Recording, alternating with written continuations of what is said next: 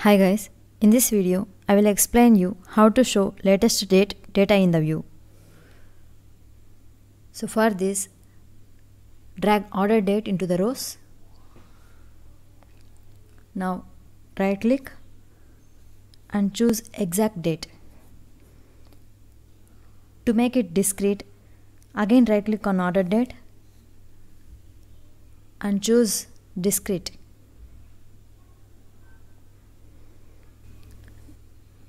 Let me scroll down it to the bottom. You can notice the latest date available in the data source is 30 December 2019. Now drag sales into the text label.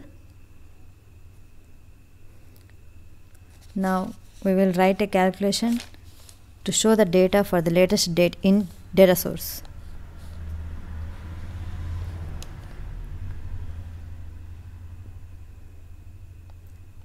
Click on this drop down in data pane and click on create calculated field and name it as latest date. In the calculation field type order date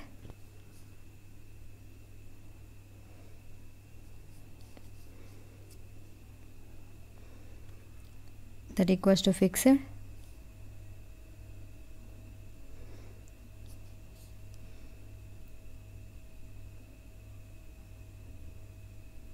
colon. Max.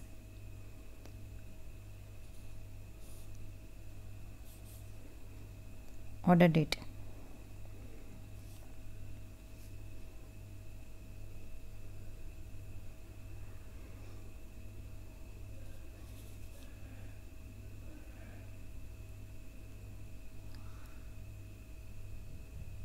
So this calculation returns max order date irrespective of fields present in the view.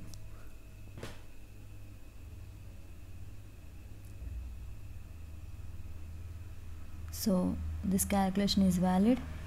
Click on apply and then OK.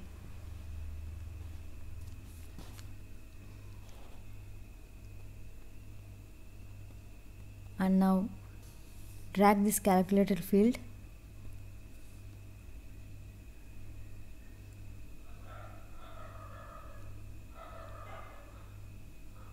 drag this calculator field to the filter shelf and then select true then click on ok. Now we got latest order date in the view. Thanks for watching. Please do subscribe and like